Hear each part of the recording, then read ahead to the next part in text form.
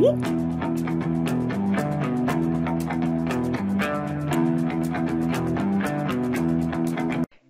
guys, welcome back to another video. In this tutorial, I'm gonna show you how to do this lab of deflected cross-site scripting into a JavaScript string with single quote and backslash skipped.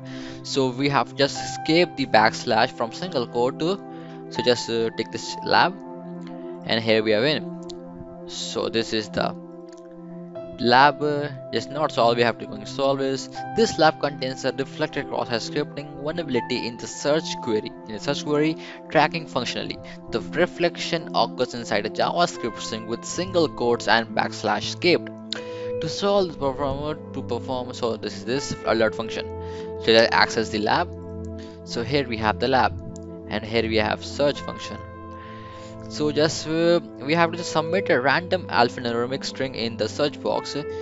So just uh, type uh, let's say techno. Okay now search. And then go to view page source.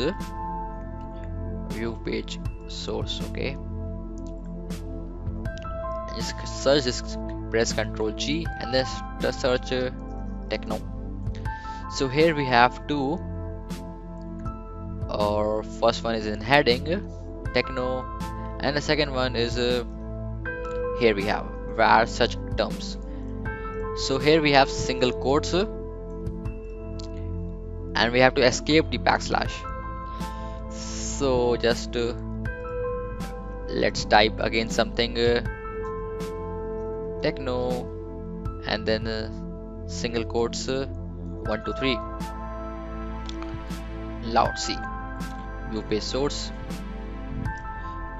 And just see so here we have uh, apples. Uh, so this uh, and here we have uh, a backslash came over here. So if we want to remove this thing so what to do? So we will write something a new code. Let's say techno and then let's say double inverted comma. And then uh, 1 2 3 now see view page source.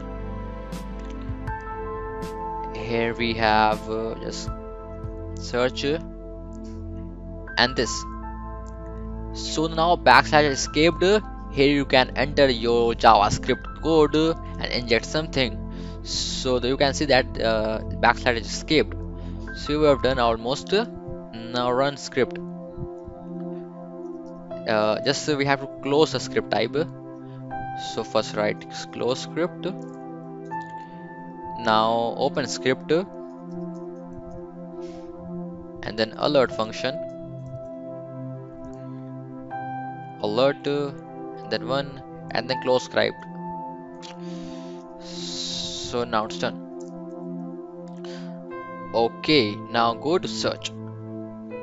So here we have completed. So it's run alert function and we have solved. Congratulations. So hope you like this video. Please give thumbs up and don't forget to subscribe.